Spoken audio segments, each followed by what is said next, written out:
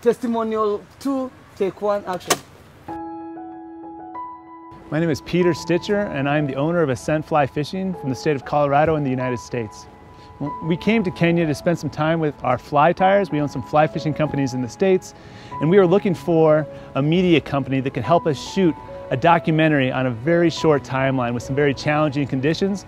The challenge was finding a company that we could trust, that we knew would capture everything we needed to capture while we were here, and that would be willing to work with us from afar, not knowing the culture, not knowing the best way to maneuver the city streets here.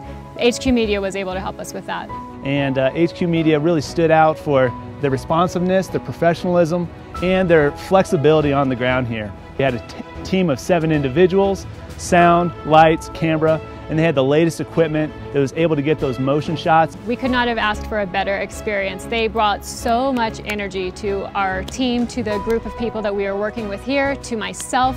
They infused energy and enthusiasm that was contagious to everyone. HQ team, you were exceptional to work with. We loved every minute with you. You made our time here in Kenya that much more enjoyable. And thank you so much for, for partnering with us on this documentary project. We've had many wonderful experiences in Kenya, and you guys are at the top of the list with our wonderful experiences.